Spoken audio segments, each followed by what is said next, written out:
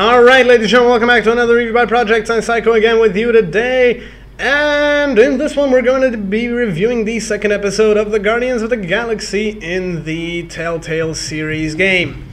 So, let's just get on to it. I've said it before and I'm gonna say it again. It's a classical Telltale style game with their kind of comic book look to it and the decisions that impact your, well, the story that you make and the endings that you reach with it. So, you play, you plan the story, how it goes. There are a lot of different endings um, on what you, based on your, well, based on the big decisions that you make throughout the game. So, let's just get on to the story. So, in the first part, we've said that Peter Quill um, dies, or, well, technically he doesn't die, he gets revived by his mother um, by with the power of the Eternity Forge.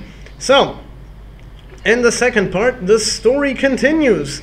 Um, Rocket tries to revive his, well, one of his better friends. Um, tries to use, well, wants to use the Eternity Forge to revive one of his best friends um, named Lylla.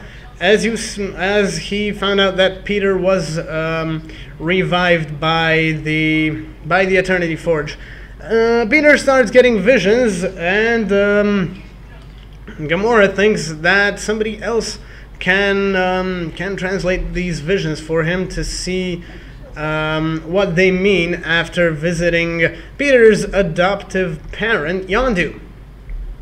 Um, so yeah.